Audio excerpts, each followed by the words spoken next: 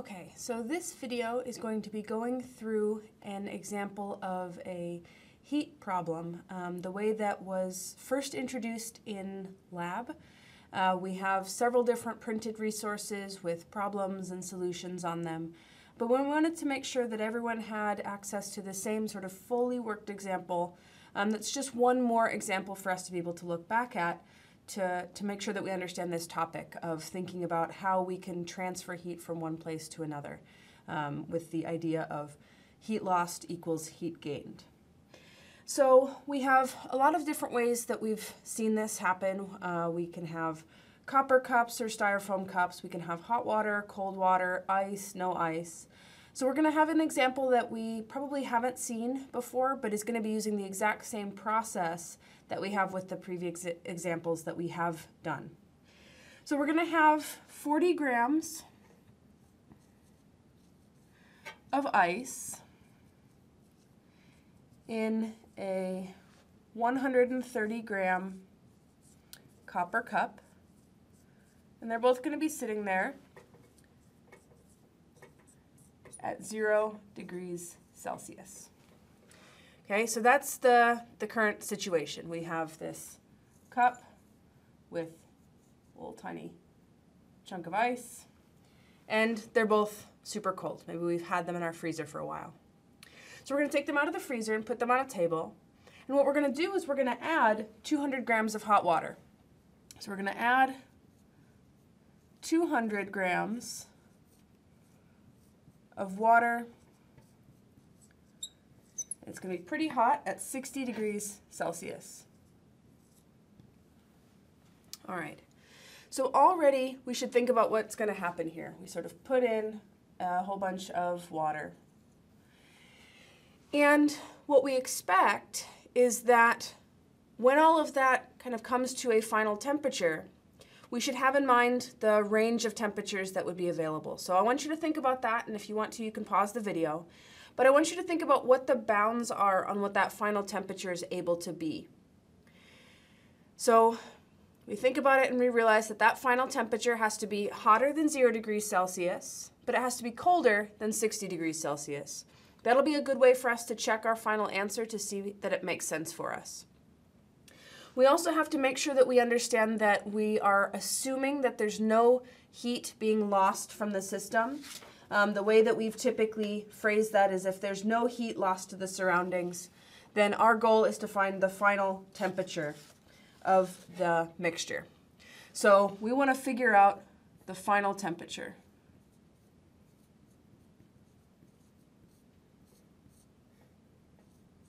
So T subscript F. That's our goal. And we know a couple of things. First of all, we know that I mean zero degrees is less than T final. It's going to be less than zero degrees Celsius uh, at the end of it too. We also know that all of these numbers that we're given, we have to put into, um, into kilograms. So from our, from our book, from our equation sheets, we know that 1,000 grams is in one kilogram. And that's going to help us make sure that we know that the mass of the ice, 40 grams divided by 1,000 is 0.04 kilograms. The mass of the copper, so M, and I'm going to use Cu, that's the um, atomic element symbol for copper. The mass of the copper is 130 grams divided by 1,000 is 0.13 kilograms. And the mass of the hot water is 200 grams. So I'm going to say M hot so that we know that it's the hot water. 200 divided by 1,000 is 0.2 kilograms. So we have all of that information. What we also have is that we know what the um, equations are for these different ideas of heat. So these are ones that you can look up in the um, lab handout, in the um, additional resources, um, as well as they'll be on the equation sheets when we need to use them. So we have our setup, we have our numbers for this particular problem here. And our big idea, the big idea that we want to have in mind, and let me switch colors so that we can really make sure we um, see it here, is that when we set this up, there's lots of different ways we could. That doesn't really look like a different color, but that's okay. The heat gained, we use Q for heat. The heat gained is equal to the amount of heat lost. So when we set it up like this,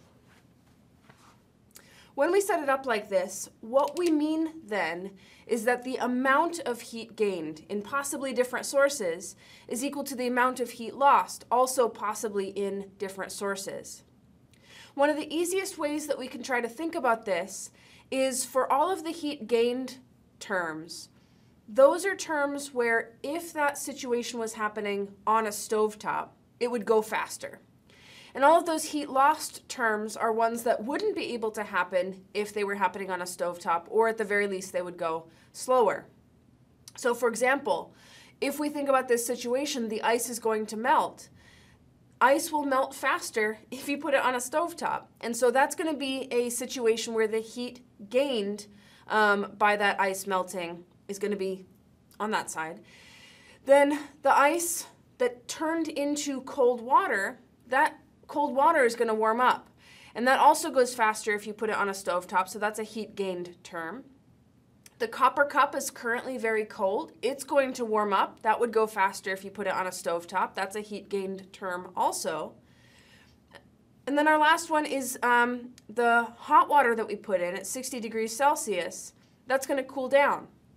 That process would go slower if we had a um, if we had it on a stovetop. And it might even warm up if we had it on a stovetop. So we know that that can't be um, a Q gained term. So the hot water cooling is a, is a heat lost term.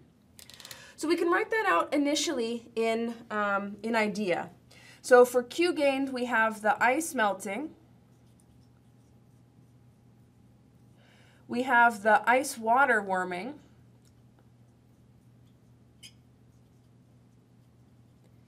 We have the copper cup warming.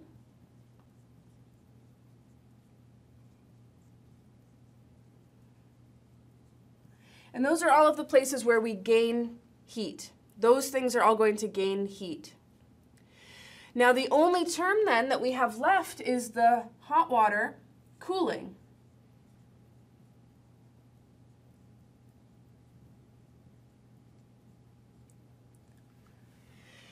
And so we see that unlike some of our situations, which have, one on one side, one on the other, or two on one side, two on the other, a couple of times we've had two and two, this particular situation has three different places where heat is gained and only one where heat is lost, and that's perfectly fine.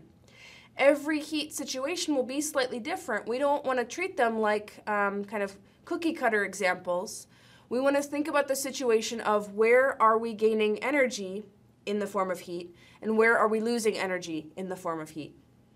Okay, so if we look at the actual equations then for each of these terms, what we have is that for ice melting, it's the mass of ice times this um, latent heat idea, so LF. Then we have the water warming, so the mass of that ice water times the C, and I'm going to put H2O because that's water, delta T. Okay. We have the copper cup warming, so that's going to be mass of the copper times the C of copper, Cu, delta T. And then we're going to have the hot water cooling. So it's the mass of the hot water, as we labeled it. It's still water, though, and then we have delta T. However, the way that we set this up, since we're looking at the amounts of heat, each time that we specify what delta T is, we have to make that delta T a positive number, which means we need to take the big temperature minus the small temperature, with our understanding of what T final should look like. What that means then is over here where the ice water is warming up, the final temperature minus zero will be what we put for delta T. Over here, the final temperature minus zero for the copper cup warming up. But then really important for the hot water, the hot water started at a bigger number, 60 degrees Celsius, and will be cooling down. And so we'll have 60 minus T final. Okay, so we'll put in these numbers. We have 0.04 times 33, 334,000. Okay, big numbers. We have 0.04 times 4186. And these numbers, by the way, for L and for C, those are numbers we can look up or that we would have provided to us. And then that delta T is T final minus 0. Okay, we have the mass of copper, so 0.13. The C of copper is 387. And then we have TF minus 0. That's the whole left side. That's the whole left side. And then all of that is equal to the mass of hot water, so 0.2 times our 4186. And then this is really important, it's 60 minus TF.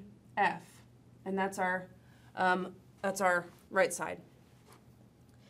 So the one of the most common mistakes is we put the um, T final always first because we are used to thinking about this idea of delta as final minus initial, which is perfectly valid, but that's when we aren't setting everything to be positive terms. So that's the thing that kind of trips up students the most often, and so I just want to make sure that we recognize that.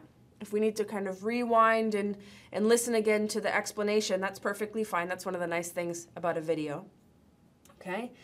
So then when we plug in numbers, when we do all of this in our calculators, and I'm to kind of assume that we can handle doing some of these steps uh, on our own.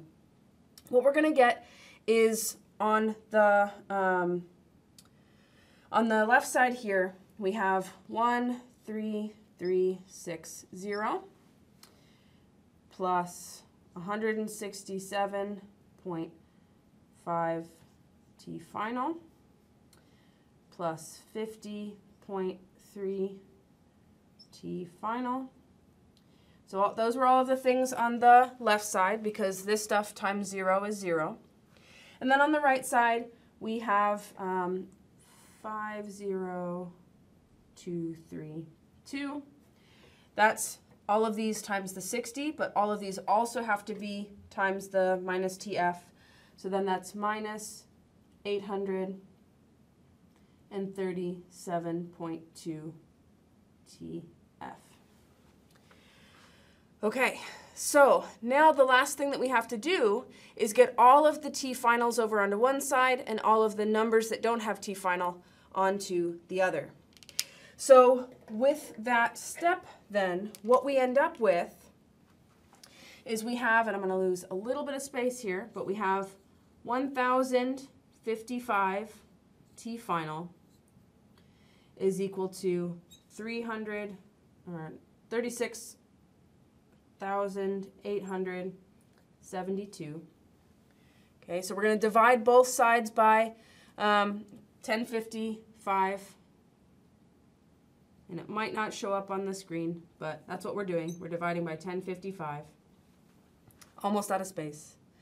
And what we end up with as our final answer, and there's not really a good place to put it, but our final answer here is T final is equal to 35 degrees. 35 degrees Celsius. Okay. So if we think about what we've done then in this problem, and it looks like a lot now, but that's one of the nice things about the video is you can rewind it until it was almost empty board. In this problem, the first thing we did was we thought about what was going on. We decided what it was likely going to be the final temperature, that it had to be more um, temperature value, a higher temperature value than our small number, but a smaller temperature value than our big number. So between 0 degrees Celsius, our cold value, and 60 degrees Celsius, our hot value. We made sure that we knew that all of the masses have to be kilograms for all of the units to work out here. And then we decided, and this was one of the tougher things, what terms are involved when we think about for this particular situation, how much energy um, we're gaining, what kind of energy gained terms we're going to have, heat gained, and what temperatures or what um, terms are going to have uh, energy lost or heat lost. Once we did that, we could then turn to our equation set, our equation sheets, and decide what that actually looked like as an equation form. So that was this step here, the first kind of pinkish one. Then we plugged in numbers right away uh, and almost ran out of space going across. Then as we started to simplify, we realized that we needed all of the t final terms, all of the terms that were attached to tf to be on one side, kind of like 2x plus 3x plus 5x, that kind of thing.